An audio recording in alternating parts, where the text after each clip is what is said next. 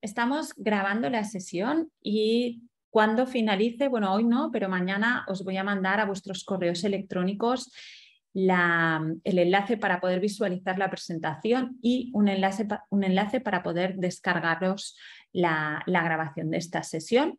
Si por alguna mm, misterios de la técnica que, que ocurren nos llegará mi correo electrónico, no os preocupéis porque dentro de nuestra página www.cuentosparacrecer.org.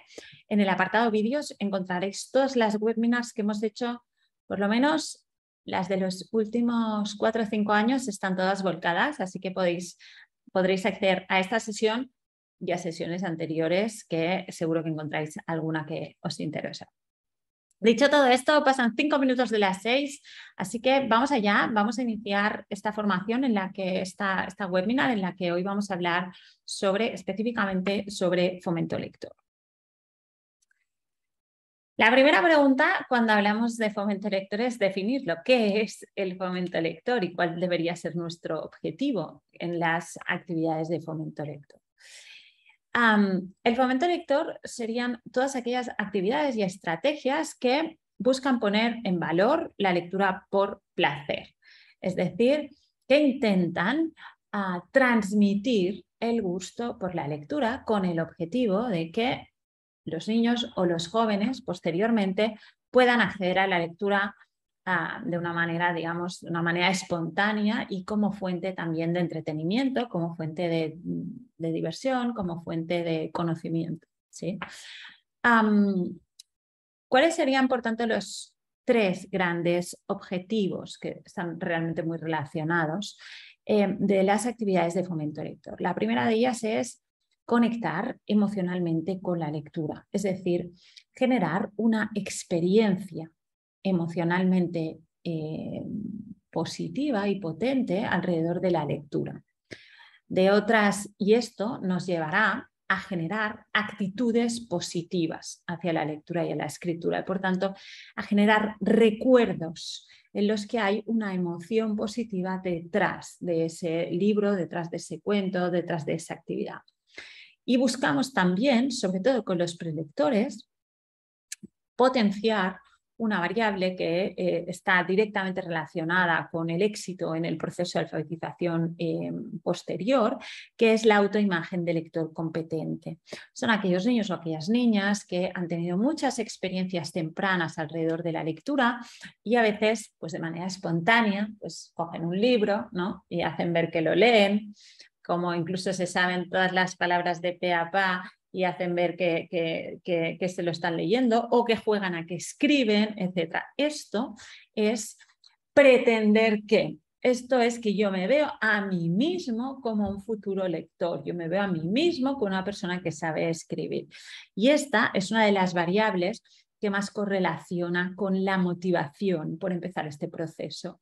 Y la motivación es importantísima en todos y cada uno de los procesos de aprendizaje. Sin motivación es muy complicado aprender no solo a leer y a escribir, sino cualquier cosa en esta vida. Como dice a Francisco Mora, sin emoción no hay aprendizaje. Y esto es una de las cosas que todos los neurocientíficos eh, ponen mucho el foco, que la primera gran actividad o la primera gran estrategia de neurodidáctica tiene que ser crear un clima emocionalmente adecuado para el aprendizaje. ¿no? Sabemos que las emociones están eh, son el interruptor ¿no? de Judy Willis, que es una persona que em, sabe mucho y divulga mucho sobre temas de neurodidáctica. Siempre dice que las emociones son el interruptor del aprendizaje. ¿no? Sin un clima emocional adecuado, yo eh, no puedo aprender o todo lo contrario, con un clima emocional esto impulsa mis posibilidades de aprendizaje.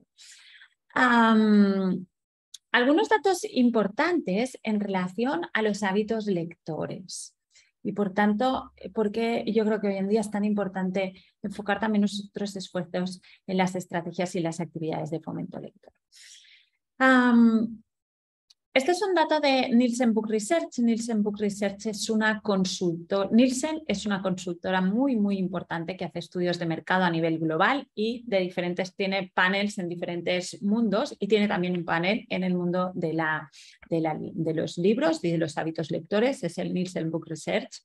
Y en el último em, informe publicado en abierto nos dice que el índice de preescolares, entendiendo preescolares niños menores, niños y niñas menores de 6 años, a los que se les leen cuentos a diario ha caído un 20% en los últimos cinco años. ¿sí? Tenemos otro dato interesante que es el Scholastic. Scholastic es una editorial que hace también bianualmente, hace un estudio de hábitos lectores a nivel eh, global y en el último, eh, en abierto, nos dice que el 44% de los niños menores de 5 años no se les leen cuentos nunca o se hace de manera muy esporádica. Si contamos los dos y los cruzamos, esas dos informaciones, pues hagan ustedes cuentas, ¿no? Ah, ¿Dónde vamos a estar de aquí 5 o de aquí 10 años en términos de motivación por este aprendizaje. ¿no? Si a mí nunca me han contado cuentos, si yo no he visto a mis mayores leer, si no hay cuentos a mi alrededor, ah, ¿cuál es mi conexión emocional con la lectura? ¿Qué, qué, motivación tengo por esta actividad? Pues parece que bien poca, ¿no? Parece que bien poca. sin embargo, es importante, importantísimo subrayar, y yo creo que esto es una, un dato que si vosotros queréis transmitir la necesidad de, contar y de leer cuentos y de acercar los cuentos a los niños es un buen dato para dar. Robert Putman es un investigador de la Universidad de Harvard que en un libro publicado recientemente que se llama Our Kids ah, se hace eco de un estudio ah, en el que dice que, eh, que se, intentó, se intentó medir una serie de variables y intentaban correlacionar estas variables con el éxito académico en la universidad. Y ese es el dato interesante, no en la escuela primaria, no en la escuela infantil, no, no, en la universidad. Pues uno de los indicadores que más correlacionaban con el éxito académico universitario era el número de lecturas compartidas que habías tenido en la primera infancia. ¿Por qué? ¿Qué sentido tiene? Así explicado parece Em, parece un poco extraño, ¿no? Parece un poco fuera de contexto, pero en realidad no lo es. En realidad no lo es. Pensar varias cosas. El aprendizaje es acumulativo. Las cosas que aprendo hoy me permiten aprender cosas mañana. ¿sí? Construimos sobre una base. ¿sí? Todas aquellas lecturas compartidas, ¿qué son? Son muchas cosas. Cuando estás compartiendo una lectura, estás transmitiendo un conocimiento, se le llama conocimiento de base y es importantísimo para tu futura comprensión lectora. Tú aún no sabes leer, pero el día que leas de manera autónoma vas a, vas a usar todo ese conocimiento para comprender las historias que leas tú mismo. De hecho, una de las características de los eh, buenos lectores es que tienen mucho conocimiento de base y ese conocimiento de base les permite comprender mejor las historias. Por tanto, estás transmitiendo conocimiento de base. Dos, estás, estás aumentando o fomentando el lenguaje. ¿Sí? Sabemos que a través de la lectura compartida es una grandísima actividad para el desarrollo lingüístico. Y sabemos que el proceso lectoescritor se basa en el lenguaje. A mayor lenguaje, mayor, eh, más facilidad de adquisición de la lectura y la escritura y de la comprensión futura, con lo cual les estás dando mayores oportunidades. Tres, ese momento de el momento Buenas noches Luna, el momento del cuento, es un momento de afectividad, es un momento de conexión, es un momento mágico, si queréis. Y este momento mágico deja una huella en nuestro cerebro, una huella en la que une esos momentos de una enorme carga emocional con la lectura. Con lo cual, las probabilidades que llegado el momento tú te conviertas en un buen lector o en un una persona que contempla la lectura como una ah, posibilidad son mucho más altas. Los niños que leen mucho porque quieren, ¿qué les ocurre? Que tienen mayor habilidad lingüística, tienen más conocimiento de base, tienen mayor habilidad en la decodificación. Esto hace que comprendan mejor. Y comprendan mejor los libros, pero los enunciados de matemáticas, los libros de texto, ah, un, texto que tengo que analizar, un texto de historia, etcétera, etcétera. Y la base académica aún está muy basada en leer y escribir. Con lo cual, esas primeras lecturas cargadas de emoción, cargadas de juego, cargadas de mimos, cargadas de, por tanto, de magia, son una de las variables que más correlaciona con el porvenir universitario. Aunque no nos lo parezca, aunque evidentemente no lo hagamos por esto, pero sí estamos ayudando y esto hay que ponerlo en valor. Y más en un contexto como el que acabamos de decir, más en un contexto en el que lamentablemente vemos como el número de niños a quien se les lee a diario cae, cae, cae año, año tras año. ¿Y por qué cae, cae? Pues porque al final eh, también hay que entender a las familias, ¿no? Yo siempre cuando hago cursos lo, explico esto, ¿no? Hay que, hay, hay que empatizar mucho, hay que empatizar con todos y también con las familias, ¿no? Si yo me levanto a las seis y media de la mañana eh, desayunos, corre, corre, llevo al, al, cole, luego corriendo a trabajar, luego corriendo a buscar niños, luego corriendo a extraescolar, luego corriendo a hacer las cenas, luego a las nueve de la noche no me da tiempo de sentarme. Y llega el momento y me dice, mamá, el cuento y... no, mañana. ¿Sí? Entonces, eso es así. En un mundo lleno de prisas, en un mundo que no hay pausa, una actividad con la lectura que requiere pausa, que requiere tiempo, ¿sí? está en desuso a todos los niveles, a todos, todos los niveles. Por tanto, hay que recuperarla, hay que ponerlo en valor. En, una, en, una mayor, en un contexto social, por tanto, en el que hay una mayor desconexión de la lectura y la escritura, todas aquellas actividades que ponen en valor el leer, el que ligan la lectura con una actividad afectiva, emocionalmente eh, interesante son imprescindibles, porque sin emoción no hay aprendizaje y alguien tiene que transmitir esa emoción por las historias.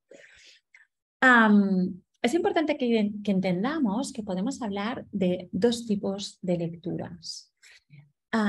una es la lectura académica y otra es la lectura por placer. La lectura académica es aquella lectura que se da para algo, yo leo para contestar un problema matemático, yo leo porque me han dicho que tengo que contestar estas preguntas, yo leo para entender, para mm, entender, eh, saber la lección de no sé qué, yo leo para, ¿sí?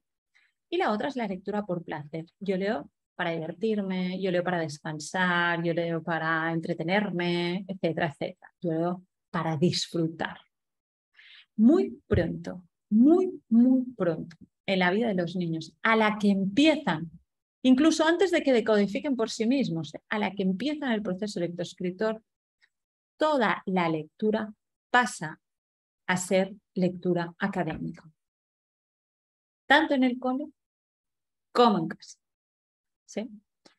¿Qué pasa? Que si yo mentalmente la lectura solo tengo experiencias de lectura académica, ¿quién va a ser el guapo que se ponga a leer un libro? Pues ya os lo digo yo, nadie. El entorno escolar es un lugar en el que evidentemente necesito la lectura académica, pero no puedo obviar tampoco la lectura por placer. Y en casa hay que trabajar también esa lectura por placer.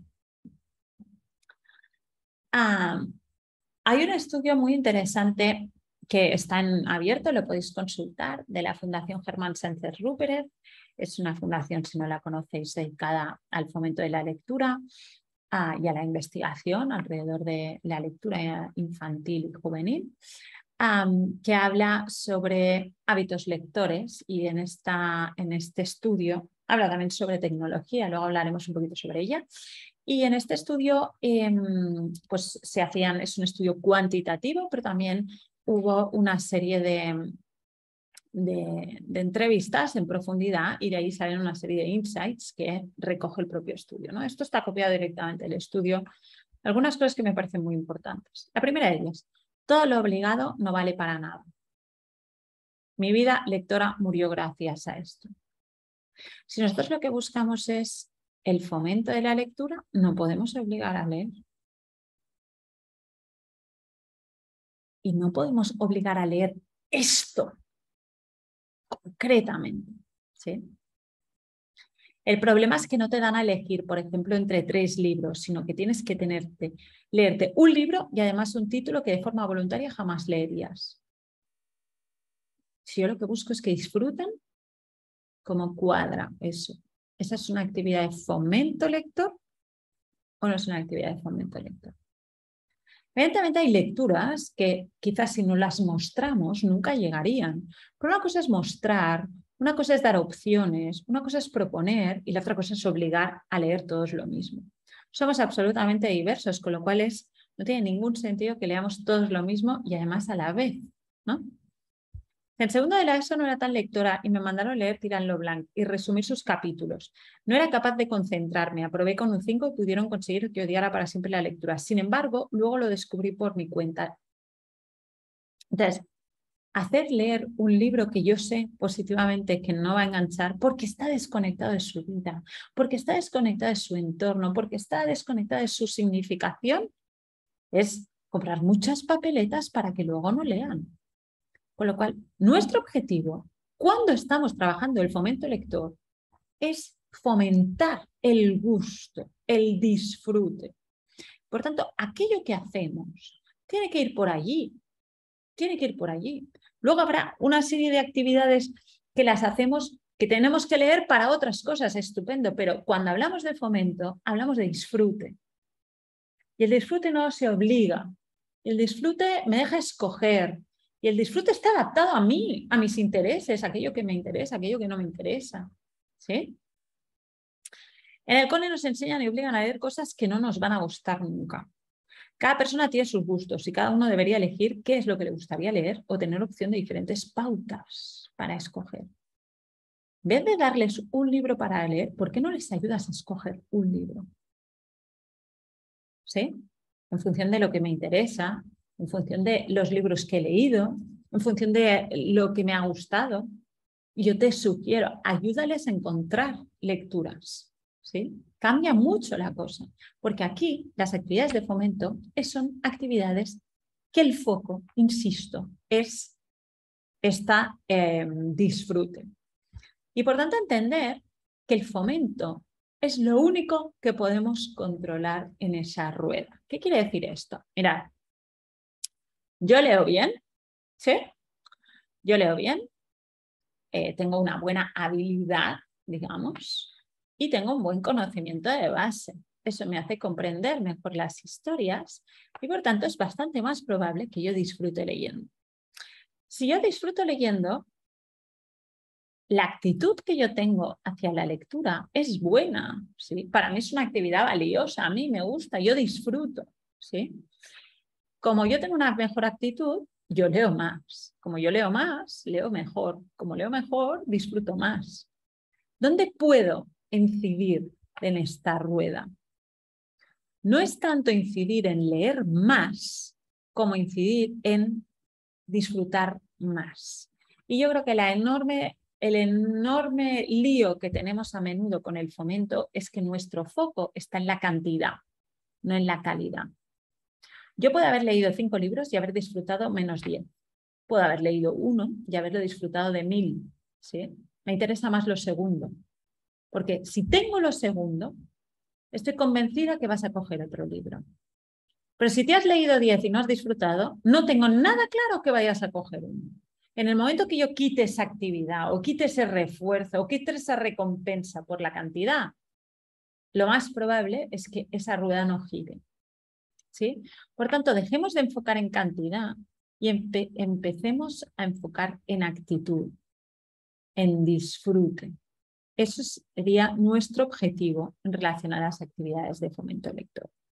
¿Cómo podemos hacerlo? Sí. Pues hablaremos primero de los prelectores. Son cosas muy simples, pero que creo que son muy importantes y sobre todo que son fáciles de hacer. ¿sí? La primera de ellas es da libertad de elección. Prelectores, lectores y lectores expertos. Una de las variables que más correlaciona con la motivación es poder elegir. Pues si no puedes dar todas las opciones, pues dame tres, pero no me digas este, dame posibilidad de elección. Esto correlaciona con la motivación. Haga lo que haga. escoger lecturas, pues lo que haga. La capacidad de elección es una de las variables que sabemos que correlaciona con la motivación. Segunda, adáptate a la temática. ¿sí? No es lo que tú quieres que lean, es qué quieren ellos leer, qué les interesa, qué les gusta. Porque aquí estamos hablando de actitud, aquí estamos hablando de emoción, aquí estamos hablando de gusto. ¿sí? Cuando estamos hablando de todo esto, la temática es importantísima. A ti te ha encantado este libro, pero es que a lo mejor a ellos no les gustan las ilustraciones o no les gusta la historia o les interesa un libro sobre los planetas y a ti no te interesa. Por lo tanto, la temática es importantísima. Tercero, cuando estemos compartiendo lecturas, cuando hagamos una lectura compartida, que sea interactiva. Hacer preguntas. No leáis del tirón. Parar, hacer preguntas, esperar la respuesta. Dialogar a través de los libros. Eso nos ayuda muchísimo, nos ayuda en el desarrollo del lenguaje, nos ayuda en la comprensión de las historias y nos ayuda a crear esa emoción que es la base del fomento. Buscar el mejor momento. No todo el mundo le va bien antes de irse a dormir.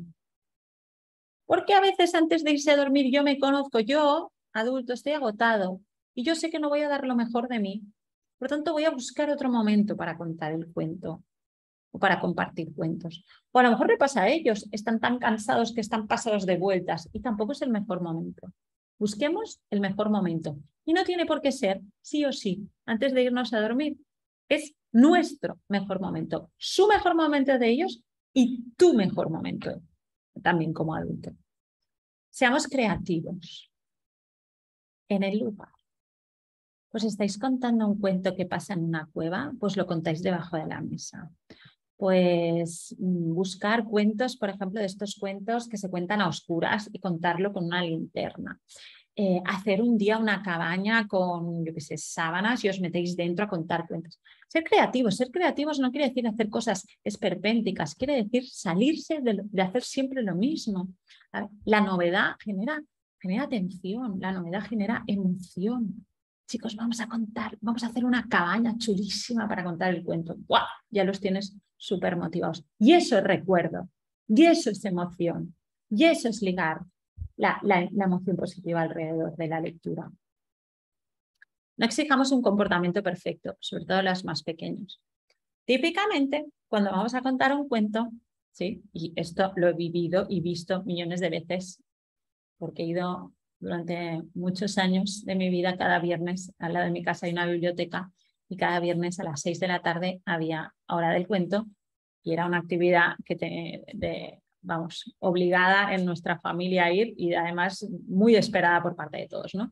Muchas de las personas que venían, porque cambiaban las personas que venían a contarnos cuentos y a contarnos historias, pero muchas de las personas iniciaban el cuento haciendo ese tipo de, pues nos ponemos pegamento en el culo y ahora cogemos, nos cerramos la boca con la llave y tiramos la llave.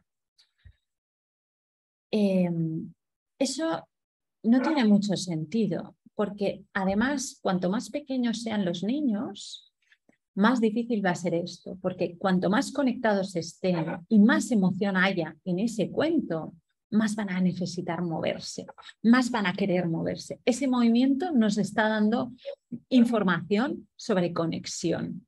¿Sí? Con lo cual, no exijáis un comportamiento perfecto. Nos podemos levantar, podemos tocar, podemos venir, claro que sí. Eso demuestra motivación. El que está totalmente desmotivado estará mirando para allá. Es el que se mueve, es el que viene, el que está conectado. Con lo cual, eh, no seamos tan rígidos en esos comportamientos. No seamos tan rígidos. Dejarle que participe.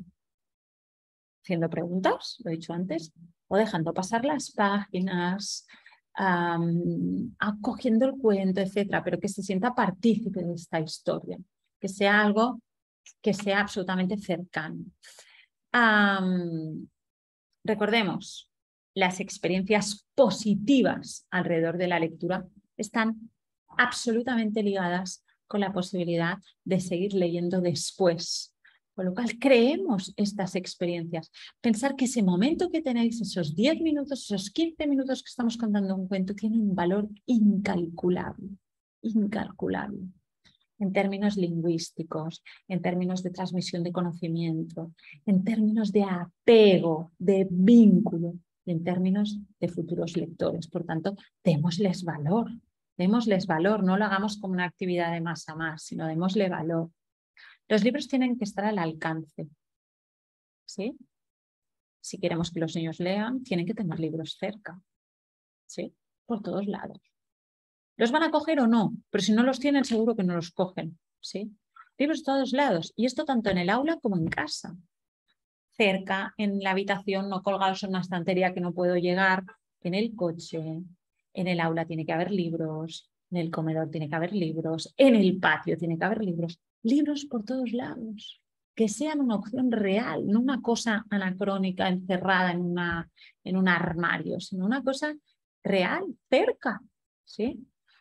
Ah, y son objetos, son valiosos por supuesto, pero yo ayer hacía, estaba haciendo eh, una formación a un equipo que estamos trabajando un plan lector de centro y les decía, em, estábamos hablando de una actividad y les de una actividad que cada niño traía un libro de su casa, ¿no? Y alguien me decía, ostras, pero ¿y si lo rompen? bueno, eso es como, yo os ponía un ejemplo, ¿no? Imaginaos que vosotros vais y os compráis un vestido chulísimo, pero no os lo ponéis nunca. No os lo ponéis nunca por si se mancha o por si se rompe. ¿Qué sentido tiene? Si te lo has comprado es para ponértelo. Si se mancha ya buscaremos cómo limpiarlo. Si se rompe ya lo llevaremos a arreglar, pero póntelo, disfrútalo. Pues esto es lo mismo. Los libros tienen que estar al alcance y hay que enseñarles a los niños a tratar a los libros. ¿sí? Y si ocurre una, una se nos rompe, pues buscaremos de arreglarlo. Pero prefiero arreglar un libro que no dejar los libros para que no los toquen por si se rompe. ¿Sí? Porque la lectura tiene que ser una opción atractiva en el ocio. ¿Qué quiere decir esto? pues cuando esperamos en la consulta, eh, en el aula, cuando esperamos y estamos en momentos de transición, cuando vamos en autobús, cuando esperamos en la cola, siempre un libro encima para coger. Tenemos tan a mano el móvil, tan a mano el móvil. Cinco minutos en el, no sé, fijaros, y esto es un ejercicio muy fácil de ver, ir a un restaurante en el que hay una mesa con niños y mientras traen la comida, y observarlos. Mirar, mirar, hacer un vistazo general y hacer un cálculo rápido de cuántas tienen un móvil para entretenerse y mirar a ver si hay alguno que tiene un libro. Si nosotros no hacemos de esta una opción atractiva de ocio, no lo va a ser. ¿eh? Tenemos que empezar nosotros. Luego no nos podemos quejar que no leen. ¿sí? Tenemos que empezar por ahí, por lo básico y nunca obligar. Es decir, yo nunca he fomentado que esto sea una actividad de ocio, pero luego quiero que leas y por tanto te obligo. ¿Cómo casa eso? Eso no casa de ninguna manera. Tanto, el fomento es dar las condiciones, crear las condiciones para que ellos lean. Nunca obligar, nunca obligar. Confía, si tú has creado las condiciones, leerán. No desistas. Sigue regalando libros cada cumpleaños sigue acercando los libros. Un día leerán. Por tanto, leer nunca debe ser una obligación. Comparte tiempo de lecturas.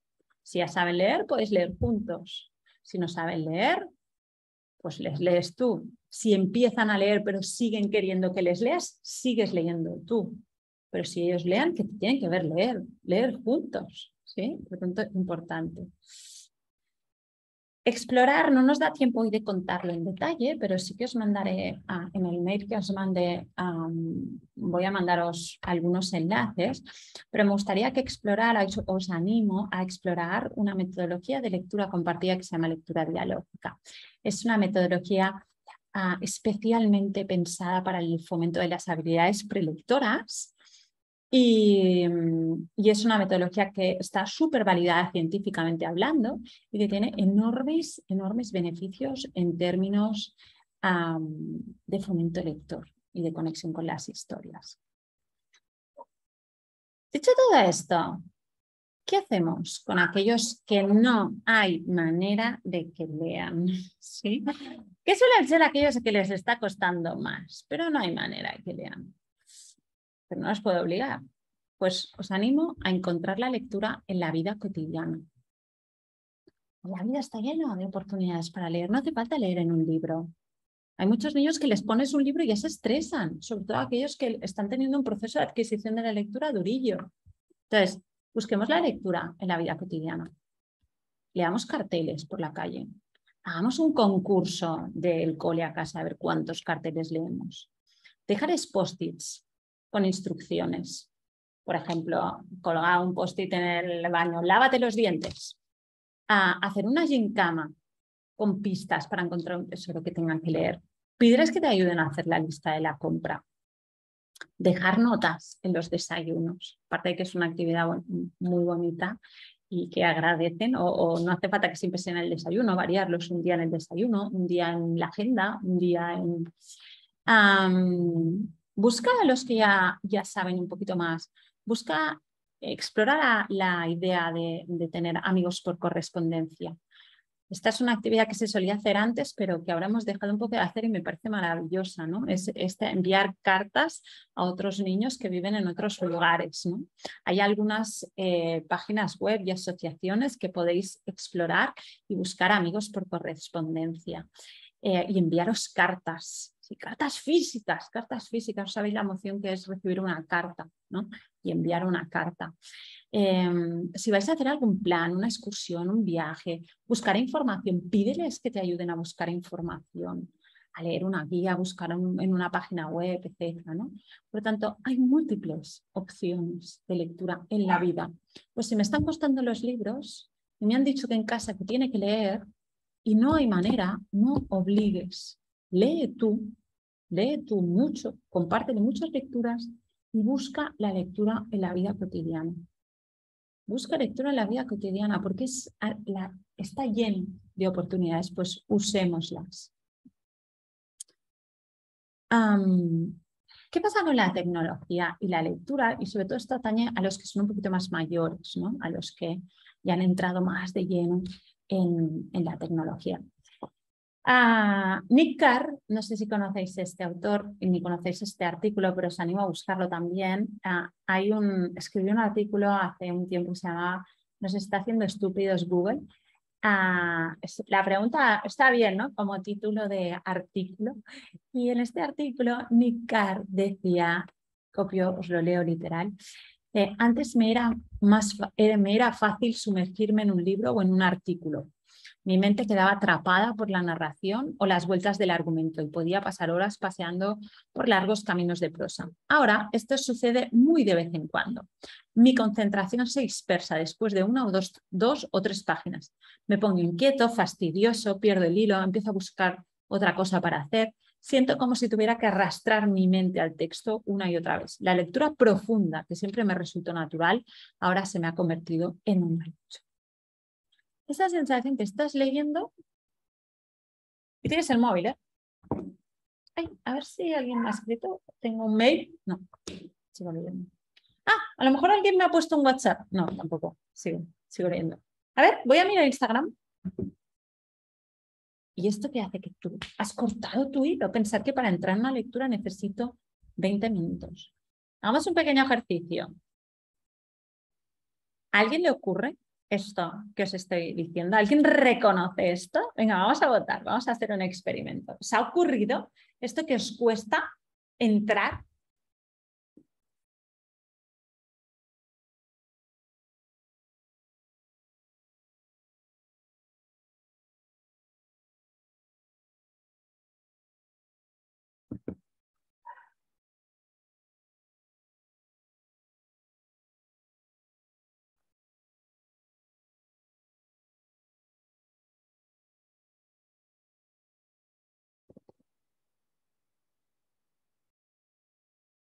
Venga, cinco segundos más, que tenemos aquí un montón que no se animan a, votar. Cinco, cuatro, tres, dos, uno. Gracias por votar, aquellos que habéis votado. Pues comparto resultados para que veáis que no me lo estoy inventando. Un 87% reconocéis esa situación. Un 13% tenían la suerte que no, que no les pasa esto, pero al 87% nos ocurre esto. Imaginar si nos ocurre a nosotros que todo este mundo tecnológico lo hemos, ah, lo hemos de alguna manera adquirido de más mayores, imaginar qué está pasando con los niños o los jóvenes que son absolutamente nativos. Les pasa lo mismo, pero seguramente aumentado. ¿Y por qué ocurre esto? Pues esto ocurre por dos motivos. Primero de ellos, la tecnología ha generado un impacto clarísimo en el umbral de aburrimiento. ¿Sí? Estamos absolutamente acostumbrados, y ellos más, porque no, tienen, no han conocido otra opción, a estar em, entretenidos al 100% todo el tiempo. Hay una impaciencia absoluta delante del aburrimiento. Y si observáis cómo miran una película, os daréis cuenta que a veces observarlo, ah, estoy, estoy, viendo una película y paso para adelante. ¿Por qué pasas para adelante? No, es que esto es un rollo. O aún peor, me voy al final. No, porque quiero saber de qué, cómo acaba. Y, hombre, pero te, has saltado todo. ¿no? Entonces, hay una impaciencia absoluta delante del aburrimiento. Y además hay otra cosa, que es que estamos absolutamente angustiados por estar perdiéndonos algo. Esa sensación que tú estás leyendo el libro y a ver si alguien ha publicado en Instagram, a ver si alguien me ha dado un like y sigues leyendo, a ver si alguien me ha escrito un mail.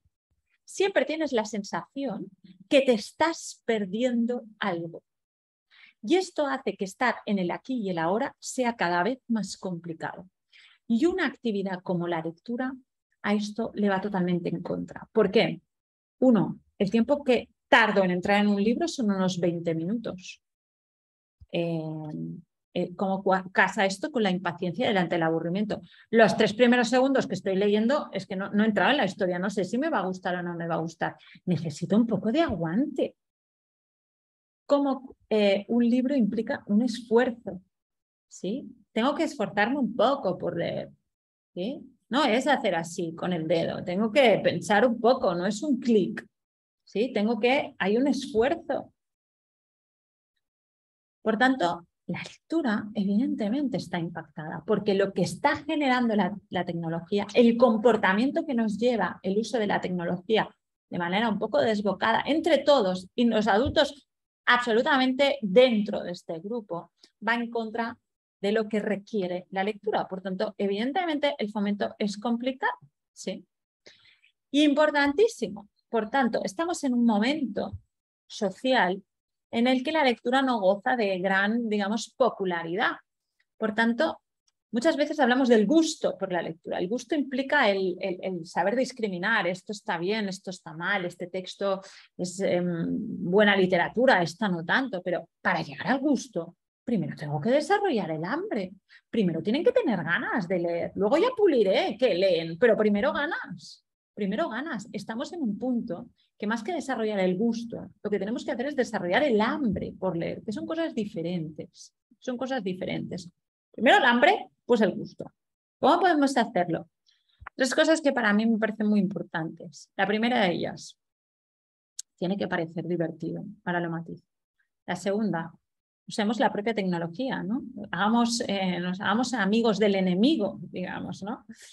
Ah, y la tercera es que si queremos que la lectura vuelva a tener un papel importante o esto, esto no lo conseguimos solo, esto necesita comunidad. ¿sí? Tenemos que volver a poner en valor la lectura y tenemos que darle valor a la lectura y esto es algo que requiere de todos los agentes de la comunidad. Y si estamos hablando en mi aula, de mi centro, de las familias, de todas las personas que estamos en esta comunidad. Y por tanto hay que, hay que pensar en comunidad, yo creo. Primero de ellos, tiene que parecer divertido. ¿Qué quiere decir? Que el cálculo entre esfuerzo y diversión tiene que ser positivo. Es decir, si tú me pones, me traes un tocho así, lleno de letras, todas juntas, una detrás de la otra, ¿qué quiere decir? ¿Qué voy a pensar yo? El esfuerzo que tengo que hacer para leer esto. Sí, total, esto va a ser un rollo. No lo intento. Entonces, ¿Cómo puedo? ¿Cómo puede salir el cálculo positivo? Pues novela gráfica, cómics, ¿sí? Eso es una buena manera de entrar, ¿sí? Por tanto, me cuestan mucho las descripciones, sobre todo libros antiguos, son innecesarias y me cansas, el cómic es lo único que leo. Por tanto, esto hace que el cálculo sea positivo y me anime, el hambre, me anime a leer. Luego ya lo puliremos, pero entremos por aquí, entremos por algo que este cálculo entre esfuerzo y beneficio pueda salir positivo. ¿sí? usemos la tecnología. ¿Para qué? Para leer. ¿sí? Plataformas como Wattpad o como Fiction Express nos pueden ayudar a leer. Incluso puedo leer en el móvil. ¿sí? Wattpad es una, es una aplicación que puedo tener en el móvil y puedo leer. y para encontrar, ¿sí? siguiendo pues ahí donde está la gente que son mis hijos o que son mis alumnos. ¿Y dónde están? Pues están en YouTube, están en Instagram, están en TikTok, están en Twitch. Ahí donde están, hay personas hablando de libros. Porque están ahí. Hay bookstagramers, hay booktubers, etcétera, etcétera. Pues de qué hablan esta gente, qué libros recomiendan. ¿Sí? Pongamos a esa gente en valor. Allí hay gente que habla de libros. Pues busquemos, empecemos primero por estos libros que los recomiendan ellos mismos. ¿sí? Y luego hagamos que ellos compartan sus lecturas. Abramos un canal, no sé, podemos abrir un canal de YouTube de recomendación de libros o podemos hacer, no sé, abrir un canal de TikTok de recomendación de libros, de los que más nos han gustado, de resúmenes, de creación, etcétera, ¿no? Y importantísimo, somos una comunidad lectora y, hay, y no hay fomento lector sin comunidad. ¿Sí? Y esto, esto de aquí me parece importantísimo. Tú lees y te miran raro. En cambio, si estás con el móvil toda la tarde y no te dicen nada. Eso es así. Si todos tus amigos te ponen trabas, dejes de leer. Te dicen que rara eres. Rodeada de amigos no lectores, tienes que tener una personalidad fuerte. Pues esto es algo que solo se consigue en comunidad. y Por tanto, clubs de lectura, lecturas literarias, espacios de recomendación, muchos mensajes. Eh, esta es una campaña chulísima de Gallonero, una editorial eh, que se llama Reading is Sexy. Hay, hay unas, unas imágenes chulísimas. Eh, pues montemos una campaña de comunicación para darle valor a la lectura. Estar al día, recomendar libros, actividades como padrinos de lectura, las familias vienen a contar, las familias recomiendan. Todo esto es transmitir la idea de que en esta comunidad, y esta comunidad puede ser lo grande que, decidamos, valoramos ah, y compartimos lecturas. Y por tanto, yo sí creo que de alguna manera las actividades de fomento deben en algún punto enfocar en, en la comunidad para ser efectivas. Voy dos minutos pasada de tiempo pero en estos dos minutos, darme un minutito más em, para hacer un pequeño juego y luego ya terminamos, digamos. Vamos, os presento tres actividades concretas, ¿sí? Y me gustaría que me dijerais, aparece en vuestra pantalla, cuál de ellas os parece que es de fomento lector. La 1, la 2, la 3, la 1 y la 2, la 2 y la 3, la 1 y la 3, todas ellas, ninguna. ¿Qué pensás?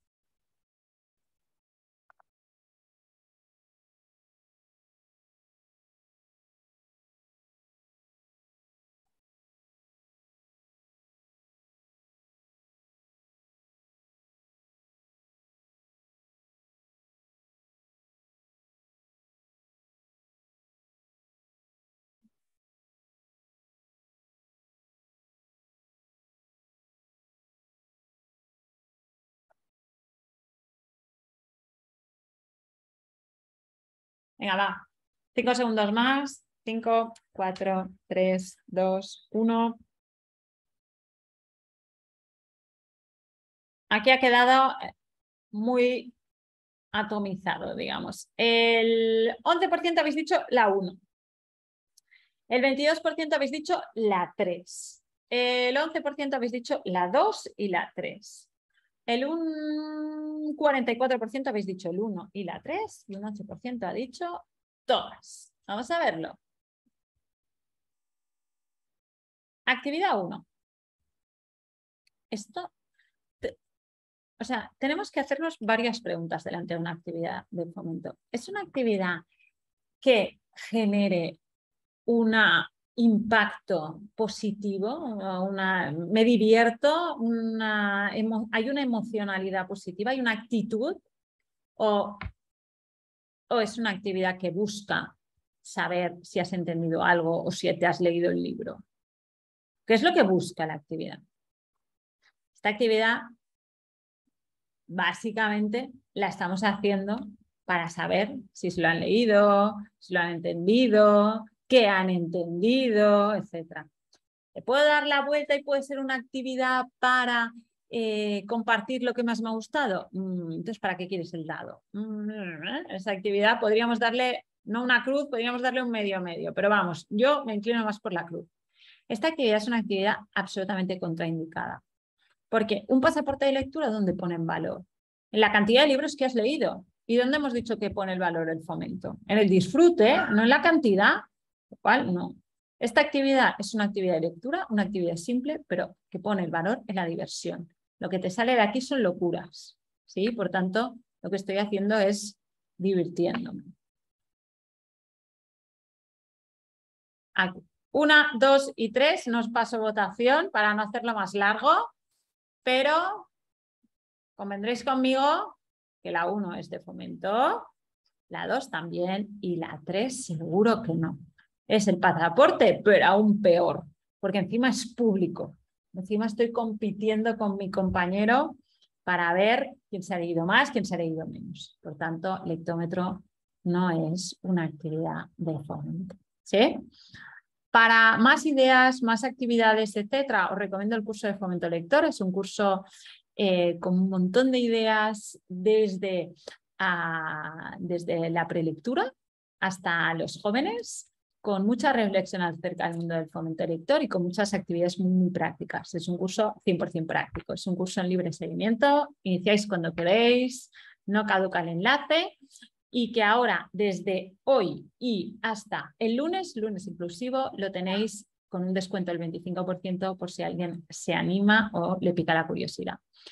En cualquier caso, os dejo ahora el enlace para que podáis acceder a la ficha a cotillar si queréis. En cualquier caso, muchísimas, muchísimas gracias por vuestra atención y mm, queda a vuestra disposición para dudas o preguntas ah, que podéis ir posteando. Recordar en el apartado Em, preguntas y respuestas. ¿sí?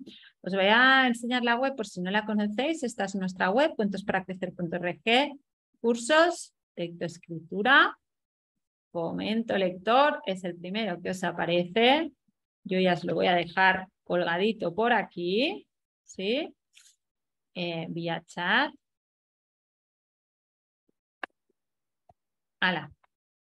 Eh, y os dejo también algunos enlaces por si queréis ver, si queréis mirar, este es nuestro blog, también hay, eh, hay info, info sobre fomento lector que os dejo por aquí. Y en el apartado vídeos tenéis también eh, información que os puede venir bien. Ahí colgo. ¿Vale? Ahora sí que me voy a las preguntas. Vamos allá.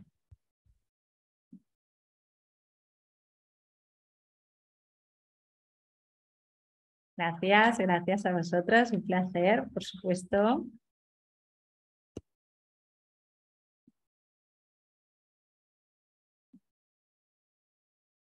¿Alguna pregunta concreta? A ver, que no os veo bien en el chat.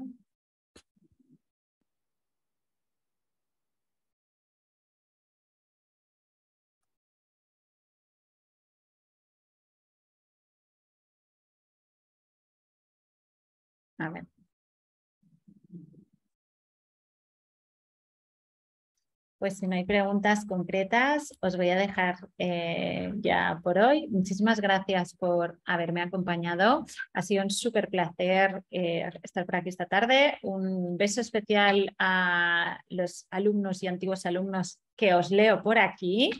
Ah, y nada, y os espero en el curso, en este curso o en cualquiera em, a vuestra disposición. Y, que sepáis que, bueno, que, cada semana vamos haciendo webinars, así que atentos por si alguna os, os resulta de interés. Muchísimas gracias y hasta pronto.